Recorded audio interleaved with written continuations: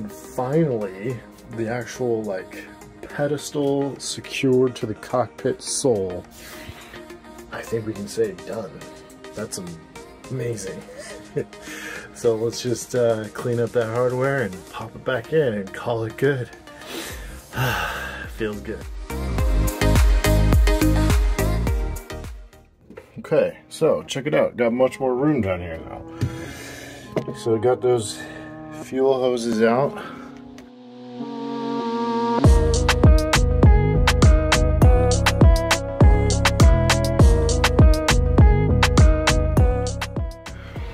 Got them out from up here. So this is where, so that's the old vent line right here. And this is the old fill. Uh, everything's dry in here, which is great. um, so eventually those will be pulled out and then glassed over and filled and faired and um, painted. But right now, that's a little out of scope of today. Plus it's really cold. It's kind of cold and wet. Um, and yeah, rainy and January in Portland. So to be expected. Uh, but what I did notice is um, some of those wires that are hanging down, those are on the list to be pulled out. So uh, that's kind of fun. I like doing that. So I'm gonna give a few minutes to do that. And then the other thing I haven't quite figured out yet is because we put this fish line, let me see if I can show you. Ugh. Because we put this, yeah, there you go, kind of up there in that top corner, top left kind of hard to see up there. Right up here. So see our fish line coming out of those holes? Well, hold on. ah, dusty. So because that fish line's coming out of those holes, it kind of uh, gets in the way of my sanding with my Dremel and uh, filling, or not filling it, but just uh, sealing the edges with epoxy. So that's kind of, uh, I don't want to take the fish line out. Let's see, what can I do? I'll probably just sand around it, then epoxy around it. Maybe kind of tape it up out of the way so it's yeah, let's just do that. At least we'll get some epoxy in there. It won't be perfect, but it's better than nothing. Better than it was. And you know what we like to say. Make the boat just a little bit better today. So, um, yeah, so let's work on getting those old wires pulled out because that's satisfying. And then yeah, we'll continue what we originally set out to do. okay, check it out. Look at all this fun stuff we can clean up. So all of these can be pulled out. Plus, there's a, a bit of speaker wire here too. So all of those can be pulled out and trashed. So that's some type of, I don't even know, coax or, I don't even know. It kind of looks like, yeah, it's welding cable. Gross. Get that off the boat. Welding cable. These were from some type of old outdated electronic. Um, but before you do any wire pulling, make sure your ends are nice and small. so like this one, let's just nip the tip, snip the tip. Same with this. Like, don't even try to bother straightening that out because it's just gonna go in the trash. So boom, snip the tip. So now when we pull these out, those tips won't be in the way. Told you it's satisfying. All right, let's go see what we can pull out of the other side.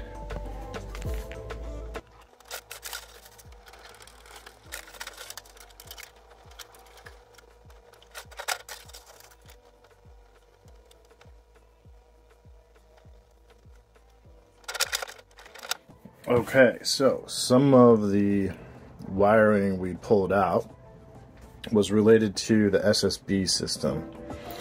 So uh, um, this is, I had to snip it, but that basically hooks into your, the radio receiver, and this is a automatic antenna tuner. And what's interesting is they still make these, so um, like new retail was like 500 bucks. So I um, we probably will have SSB on the boat. I haven't made that final decision yet. Um, we'll talk to Devin. We'll discuss pros and cons, but um, I think what we'll do is just hang on to this unit until we make the decision because they still make them. So uh, if it works, it's worth keeping. Um, and I can assume that it works. I don't know. We'll see. But um, what we're not going to do is keep the cable. so if you look at the, it's just, the sheath here is just cracking when you bend it. So it just is really, really roached. You can, you can hear it crack when you twist it and turn it. so I just snipped it off and uh, we'll snip off the end. I'll label it for what it is so I remember because yeah, I, I have to write things down or I forget them. So yeah, we'll save that and then check out our other booty that we got. All of these we were able to pull out. So that's really satisfying. I mean, obvious, and obviously this, and then obviously the diesel fill and vent pipe too. So yeah, overall, um, didn't plan on doing this today, but as it was boat work, like you, start doing one thing and then that another thing's in the way, or you notice it, or it'd be easier to do something else. So, anyways, it's a process, and we'll get there. Um, but yeah, I'm gonna get these wires kind of tidied up and in the trash. Label my automatic antenna tuner and kind of see what else we can do. We'll go from there.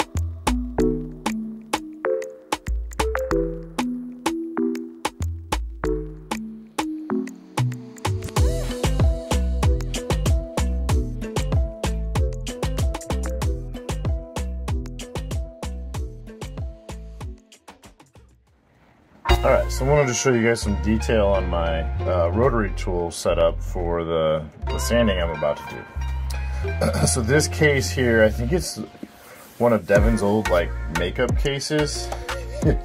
um, and I have my little little rotary kit in here. Um, so the tool itself is just the standard Milwaukee 12 volt rotary rotary tool. Uh, I keep a battery in here.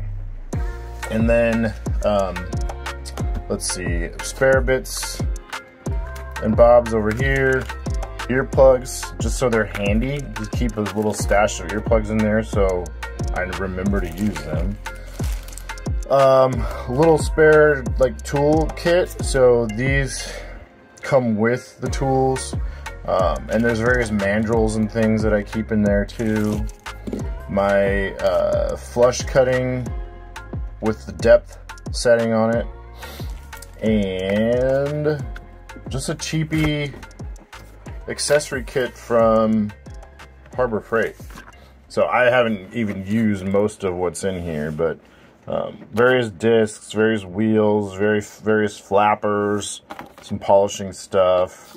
Um, and then this side is like various grinders and polishers and bits and things like that. So that's this is I've been working off of this for a couple years now. Um, so yeah, I just wanted to show you the like how I keep myself organized. Um, the the original Milwaukee like I guess chuck that went here uh, failed on me. So I went and bought a a Dremel quick change. So this quick change is really easy. So you don't even really need a tool. You just pop in what you're wanting to work with for the day. Hold your button so it doesn't spin. And then crank it down. These, it does tend to spin in here. It can't get like completely tight. So you can use your wrench and uh, get it, snug it up a little bit more. But yeah, that's, then it's ready to go. So, um, you know how, how I like my tools and I like showing you guys stuff and the right tool for the job really helps get things done faster and easier and and we'll, we'll let's go do one right now in real time and you'll see how how fast it actually can go. Okay I lied. I won't be able to show you the real time uh, because it's just there's no room for the camera. So apologies for that but um, Trust me, the right tool for the job gets the job done. Be right back. So, so far, whew, sorry. So far, successful. Yeah. Um, so this was the first weekend where we aren't full-time on the boat. So we've got the apartment, had the couch, right? and um, so we're off the boat full time and in project mode on the boat. So look, I can just leave some tools out, leave some cabinets open, leave that stuff just piled on there. Don't have, and today's Sunday, so I don't have to worry about putting all that away to do the weekday tomorrow. So it's kind of nice. Ain't gonna lie. That's a big benefit.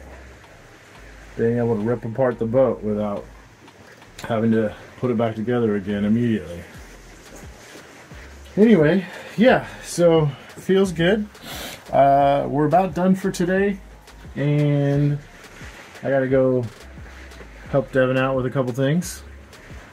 And yeah, I think we we did a good job today. We got the a lot of the wiring out, those old fuel hoses out. Um, started sanding where we're gonna epoxy. Um, yeah, so we did what we could, uh, but we can say, can't definitely can say the boat is just a little bit better today. All right, guys, see ya. Good morning, good morning, good morning. It's a very rainy day outside. but here I am on Yara, gonna do some boat work. Devin is at home with friends and family, um, but we gotta keep this project moving forward. I wish I could be there with her and them, but we've got a boat and it takes time.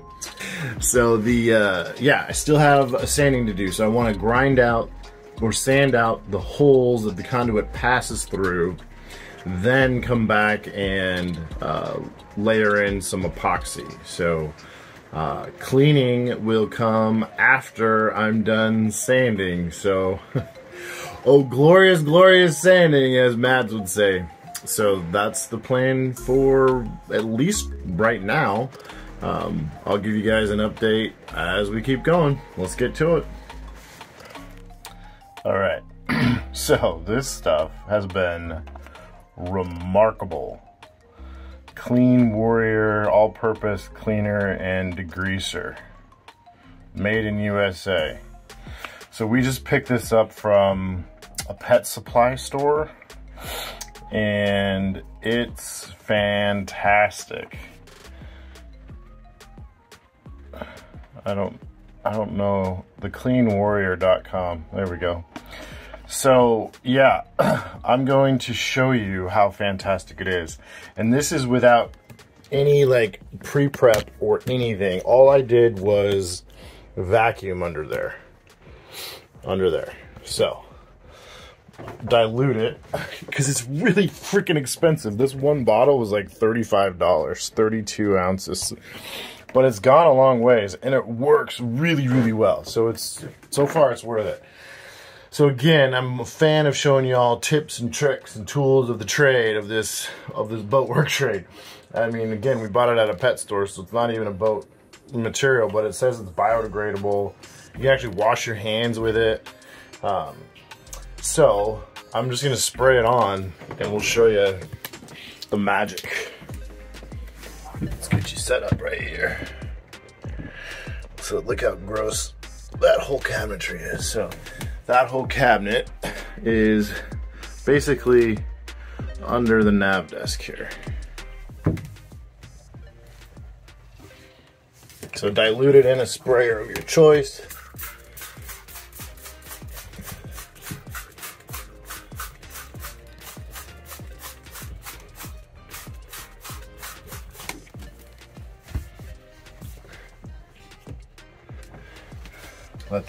Its magic and just sit there for a little.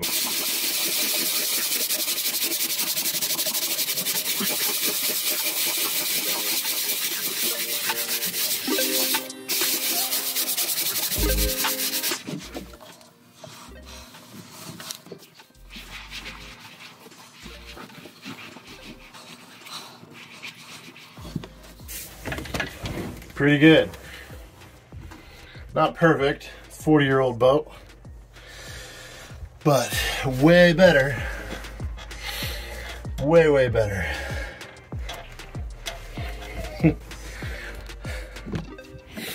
you guys don't want to watch me scrub, but um, yeah, just thought I'd show you that stuff. Kleen Warrior, clean with a K, K L E E N, if you like it. I'm not promoting it. They didn't pay us for this video or anything. Uh, just something that we uh, found that's useful. I'll get this cleaned up and put you guys on hold. All right, check it out. Setting ourselves up for some epoxy. So, um, give you a status update. that has been, so wherever the conduit comes through a bulkhead, I'm going, I, I sanded it down with my Dremel. We talked about that with the Dremel tool. Then uh, came back, cleaned, vacuumed, uh, acetoned, and now I'm setting myself up to do some epoxy work. Um, so I can epoxy the raw exposed wood where the conduit went through the bulkhead. I mean, it's been like that for 40 years. It's original to the boat, um, but can't hurt to just epoxy it so there's no issues whatsoever. Um, I wanted to show you, uh, I don't know, kind of, I don't think this is my idea, but I did it just now. So the chippy brushes, just these cheap like dollar store, $2 brushes, whatever. Um, for this type of work, I just use them and toss them. So what I'm what I did was I cut this one with some scissors to this point, and that way uh, my theory is when I have this point, I can kind of get in the epoxy into the hole a little bit better and kind of, I don't know, get in there a little bit better. Better than this one that's flat and big and maybe I'd have to try to use the corner of the brush. We'll see. Uh, we'll give an update on how this one works. So my next step is to get things taped off because with unthickened epoxy, it's really, it, it can be viscous and uh, kind of leak uh, down and around into places that I don't really want it to go. So I'm going to tape things off and then um, mix up the epoxy and, and get it get it applied. I do have it warming, so there it is, my two, my A and B on the the little oil heater there. It's like 48 degrees outside and 65 in here, so having it on the heater will help mix things up a little easier. So yeah, there's our update. It feels good to make some progress. All right, got those holes epoxied. Um, and instead of using the, the little cut brush that I showed you guys, I just had a, a glo I had gloves on. And I just dipped my fingers in the epoxy with gloves on and then just went around the inside of the hole with my my fingers. And that was way easier.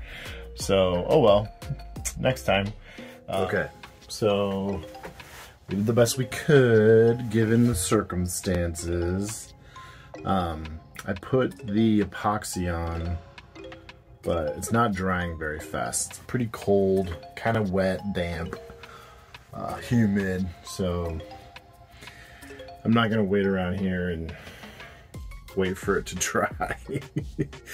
uh, it's like watching paint dry, right? But anyway, um, so I'm gonna head home and go be with friends and family. And then next time when we get back out here, hopefully, I mean, well, by then the epoxy will be dry. So um, yeah, then I can finally get going on the conduit. so anyway, um, yeah, so we'll call it a day. It's a good almost four and a half hours. So yeah, good day's work and we certainly made the boat just a little bit better today. See ya.